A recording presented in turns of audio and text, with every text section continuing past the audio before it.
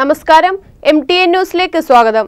വിദ്യാർത്ഥികൾക്ക് ആധുനിക വിദ്യാഭ്യാസവും തൊഴിൽ പ്രാവീണ്യവും നൽകിക്കൊണ്ട് മലപ്പുറം ഇംഗൽ ഗ്രീൻസ് എഡ്യൂസിറ്റിയിൽ പ്രവർത്തിക്കുന്ന എ ഐ ഇന്റർനാഷണൽ കോളേജ് ശില്പശാല സംഘടിപ്പിച്ചു. ചടങ്ങ് P K Kunhalikutty M P ഉദ്ഘാടനം ചെയ്തു. എ ഐ ഇന്റർനാഷണൽ കോളേജിൽ വെച്ച് നടന്ന ശില്പശാലയുടെ ആദ്യഘട്ടമാണ് ഇന്ന് നടന്നത്. മലപ്പുറം ജില്ലയിലെ വിവിധ പഞ്ചായത്തുകളിൽ നിന്നുള്ള പ്രസിഡന്റുമാർ ശില്പശാലയുടെ ഭാഗമായി.